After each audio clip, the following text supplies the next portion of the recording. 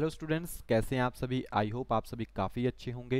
And uh, आज हम आपके लिए एक छोटी सी इन्फॉर्मेशन लेके आए हैं। लेकिन छोटी सी इन्फॉर्मेशन होने के साथ साथ काफ़ी बड़ी इन्फॉर्मेशन है ये। क्योंकि जैसे अभी आपने देखा होगा कि जो भी आपका डिपार्टमेंट है हिमाचल प्रदेश एलिमेंट्री एजुकेशन शिमला उन्होंने एक नोटिफिकेशन जो है आपके पास रिलीज़ की थी जिसके तहत जो है कुछ वैकेंसी जो है जिन्हें आपके पास भरा जा रहा है on the basis of contract base तो आप देखेंगे ये कितनी वैकेंसीज है टोटल एंड अगर आप इन टोटल वैकेंसीज को स्टडी करेंगे तो ये वही वैकेंसीज आपको देखने को मिलेगी जब आपने एक चीज़ बात कही थी कि जो आपके पास लाइव वैकेंसीज यानी जो कमीशन के थ्रू वैकेंसीज भरी जानी थी, उन्हीं का एक पार्ट है ओके तो अगर आप देखेंगे तो आपको पता है हर टाइम 50-50 का क्राइटेरिया रहता है कि 50 परसेंट जो आपके पास बैच वाइज भर्ती होगी 50 परसेंट जो आपके पास कमीशन के थ्रू भर्ती होगी। बहुत से बच्चे ऐसे हैं जो कि अभी वेट कर रहे थे कि उनका, क्योंकि बैच का नंबर आने वाला था, और कौन से बैच की बारी आएगी उसकी भी बात करेंगे, कौन सा बैच आपके पास चल रहा है।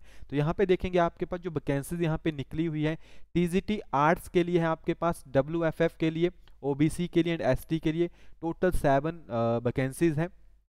टीजीटी नॉन मेडिकल में देखेंगे तो 39 वैकेंसी और हर एक कैटेगरी आपको देखने को मिलेगी।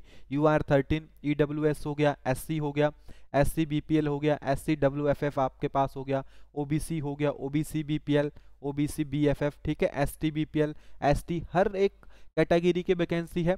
यहीं पे अगर आप टीजीटी मेडिकल में देखोगे तो एससी एसटी एंड ओबीसी की ही आपको सिर्फ़ वैकेंसीज देखने को मिलेगी। और स्पेशल कास्ट से रिगार्डिंग है। जिन भी बच्चों का बैच अब आ चुका है, वो अपने एक्सचेंज में जाके जो भी अपनी डॉक्यूमेंटेशन है उसको कंप्लीट करें ताकि अगर उनका नाम यहाँ पे आता है तो काफ़ी अच्छी बात है। इसमें आप टीजीटी आर्ट्स के लिए जो आर एंड पी रूल्स हैं, वो यहाँ पे आप देख सकते हैं। एज लिमिट यहाँ पे मेंशन की गई है आपके पास 18 से लेकर 45 तक। इसी के बीच में आप क्या कर सकते हो? कॉन्टिन्यूसली जो है वो अप्लाई कर सकते हैं। प्लस साथ में जो आपको इंटरव्यू काउंसलिंग जो होगी, उसकी डेट्स जो है वो आपको मेंशन कर दी जाएगी। ठीक है? तो जैसे ही एम्प्लॉयमेंट एक्सचेंज से जो डाटा है, जब वो बोर्ड के पास जाएगा तो यहाँ पे देख सकते हैं आप 50 percent forty five percent one year two year की बी एड सिर्फ़ इन्हीं की बातें आपके पास कही गई है, क्योंकि इसमें रूसा की कोई भी आपके पास जो है वो लिमिट नहीं है, क्योंकि रूसा उस टाइम था नहीं तो काफ़ी पहले के बैच हैं। तो मेन यहाँ पे है बैच वाइज लिस्ट तो जो हम यहाँ पे आपके साथ शेयर करने चाहते थे तो इसलिए वीडियो हम यहाँ पे बना रहे हैं। बहुत से बच्चों ने देख भी ली होगी। तो आप देखोगे, पहले कैटेगरीज वाइज है आपके पास TGT arts TGT non medical and TGT medical ये आप देखोगे, बहुत सी चीज़ें खाली है यहाँ पे। खाली का मतलब है जिनकी वैकेंसीज नहीं है, उनको यहाँ पे मेंशन नहीं किया गया है। क्लियर तो यहाँ से आप एक आइडिया लगा सकते हो बैच का, कि बैच कहाँ पे और किस जगह के ऊपर आपके पास प्रेजेंट होंगे। क्लियर और जिनके बैच यहाँ पे नहीं है, वो एक्सचेंज से अपडेट होंगे तो फर्स्टली अगर आप आर्ट्स की बात करेंगे तो इसमें ओबीसी के बैच की बात करें तो जुलाई 2003 में है आपके पास। एसटी की बात करें तो जुलाई 2004 में है। और ये जो आपके पास है फ्रीडम फाइटर्स के अभी यहाँ पे अपडेट नहीं हुए हैं। तो यहाँ पे अगर आप यूआर की भी बात करें तो आपको पता है बैच मैक्सिमम आगे रहते हैं। तो ये अराउंड आपके पास 2000 एंड 2002 के आसपास जो ये बैचेज हैं, वो चले होंगे सारे, है ना? यही चीज़ अगर आप देखोगे इन केस ऑफ़ टीजीटी की तो टीजीटी में मैक्सिमम सभी बैचेज आपके पास प्रेजेंट हैं। इसमें जर्नल की बात करें तो मार्च 1999 तक है अभी, ठीक है? इसमें ईडब्ल्यूएस e की बात करें तो मार्च 2000 तक है आपके पास। बहुत से कहेंगे, सर, उस टाइम तो ईडब्ल्यूएस e था ही नहीं। अरे, जो बच्चे उस टाइम बीएड की हुई, अगर उनके पास है तो उनको वहाँ से कंसिडर किया जाएगा। ओबीसी की बात करें तो अगस्त 2002 में है। एससी की बात करें तो आपके पास यहाँ पे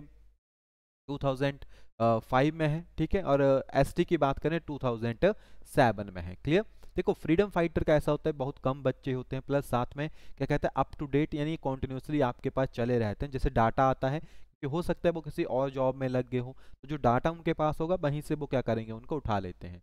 यहीं पे बीपीएल की बात करें तो बीपीएल में आपके पास ओबीसी से रिगार्डिंग 2004 में है एससी की बात करें 2007 में है एंड यहाँ पे देखेंगे एसटी में तो आपके पास 2013 में है। फ्रीडम फाइटर की बात करेंगे तो आपके पास यहाँ पे अप टू डेट है।